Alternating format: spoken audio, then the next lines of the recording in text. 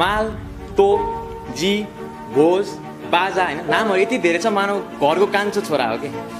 तर यो नाम अझै पनि छ नि नामहरू चाहिँ तर कन्ने। त्यही पनि यो नामहरू चाहिँ कुनै पनि मान्छेको नभएर एउटा वनस्पतिको एउटा प्राकृतिक वनस्पति जसको अस्तित्व आफैमा विवादको विषय बनेको छ र त्यो वनस्पतिको नाम हो गाँजा।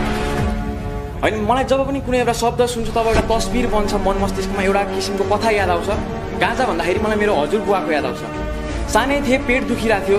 अनि म हजुरबासँग रोइरहेको थिएँ। हजुरबाले भन्नुभयो पाहाडमा हुँदा त गाँजा पाइन्थ्यो गाँजा तानिन्थ्यो पेट दुख्दा। होइन? तर त्यति बेला बाल बालक थिएँ त्यसैले मेरो first impression is the last impression भनेपछि त्यो कुराले मेरो मनमा ठुलो छाप पार्यो। तर पछि समाजमा निस्किँदा बाटोमा हिँड्दाखेरि त गाँजा भन्दा मान्छेले ठुल्ठुलो आँखाले घृणाले हेर्ने मानव मैले कुनै अपशब्दकै उच्चारण गरेको होस्। एउटा वनस्पतिको नाम मात्र लिएको लिनु तिनी अपशब्दकै उच्चारण गरे जसरी हेरिदिने। त्यसैले मैले सोचेँ किन यो दृष्टिकोणमा यति भिन्नता? तिन जेनेरेसनमा किन यति भिन्नता आयो यो दृष्टिकोणमा भनेर मैले अध्ययन गरेर केही निष्कर्षहरूमा पुगेँ। अध्ययनहरूको उस क्रममा सुरुमा त म वेदमा पुगेँ। पाँच हजार वर्ष अगाडि लेखेको ठुलै कुरा हुने त्यसैले अथर्व वेदमा अठार अथर्व वेदको एघारौँ काण्डको अठारौँ सूक्तमा के लेखेको छ भन्दाखेरि पाँच सर्वश्रेष्ठ वनस्पतिहरूमध्ये एक गाजा एकदम खुला रूपमा लेखिदिएको छ। त्यति मात्रै नभएर आफ्नो मनको डरलाई भगाउन र हामीले सुख प्राप्ति गर्नको लागि गाँजाको सेवन गर्नु उच्चतम छ भनेर लेखिएको छ। त्यति मात्रै नभएर गत हप्ताको समाचारमा आएको थियो डब्लुएचओले medicinal marijuana poses no health risk भनेर एउटा विज्ञप्ति जारी गर्यो। अथवा मेरुवानामा हुँदै सिबिडी र टिएचसी मध्ये सिबिडी चाहिँ टोटल्ली हेल्थ रिस्क फ्री छ। कुनै पनि हेल्थ रिस्क छैन र यसलाई उपचारमा ल्याउनु पर्छ भन्यो डब्लुएचओले बाँकी भयो टिएचसी धेरै देशहरूमा प्रतिबन्धित भएकोले यसको बारेमा धेरै अध्ययन त गर्न सकिएको छैन। तर कोही कोही मान्छेहरू आएर भन्छन् गाँजा खाने क्यान्सर हुन्छ। चेप पाइदिए गाँजा कहीँ क्यान्सर हुँदैन। जबकि अध्ययनले के बताउँछ भन्दाखेरि टिएचसीले त क्यान्सर सेललाई मार्छ क्यान्सरलाई मार्छ। अझै मजाले अध्ययन गर्न चाहिँ पाएको छैन किनभने प्रतिबन्धित छ। त्यति मात्रै नभएर क्यान्सरको रोगीहरूले हुने केमोथेरापीमा केमोथेरापीको मान्छेलाई नोजिया हुन्छ बान्ता हुन्छ र उनीहरूको दुखाइ हुन्छ त्यसको लागि पनि मान्छेले गाँजा तान्ने गर्छन्। एचआइभीको पेसेन्टहरूले आफ्नो फुड इन्टेक बढाउनको लागि गाँजा खान्छन् आर्थराइटिस भएको वृद्धा व्यक्तिले आफ्नो हातको त्यो ट्रेमर्सहरूलाई हटाउनको लागि गाँजा खान्छन्। यसले एपिलेप्सी भएको मान्छेले एपिलेप्सी बाइसचोटि तेइसचोटि दिनमा हुने सिजरलाई हटाउनको लागि गाँजा खान्छन्। शारीरिक रोग मात्र नभएर मानसिक रोग PTSD panic disorder anxiety disorder यो सबै रोगलाई उपचार गर्छ गाँजाले। आयुर्वेदमा लेखाएको छ हामी को ठुलो मान्छे हो। आयुर्वेदमा लेखाएको छ मैले भने हो होइन? त्यही पनि बजारमा बजारमा गयो भने होइन चुरोट रक्सी खुल्ला बिक्री हुन्छ। साउनी रक्सी ल्याऊ भने रक्सी खाइदिएको छ त गाँजा चाहिएको छ भने दाइ छ भन्नुपर्छ। पुलिसको डर के? टक्क एउटा पेपरमा ल्याउँछ त्यो पेपरमा पनि खुतुको हालेर भागिहाल्नुपर्छ। त्यस्तो डर छ गाँजा खानेलाई। जबकि गाँजाले केही पनि हुँदैन। गाँजा भन्ने कुरा एडिक्टिभ पनि हुँदैन साथी हो।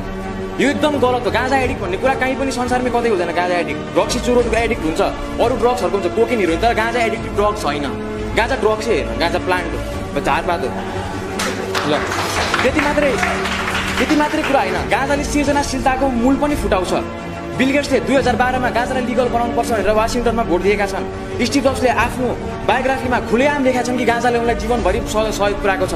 साइगन फेमस साइन्टिस्ट उनले के भनेका छन् भने गाँजामाथिको प्रतिबन्ध एकदम असंयमित हो र गाँजामा उनले जुन सोचहरू ल्याएका छन् उसको धेरै पेपरहरू त्यसैले गरेर बिकेका छन् भनेर उनले खुरा रूपमा लेखेका छन्। गाँजाको बारेमा।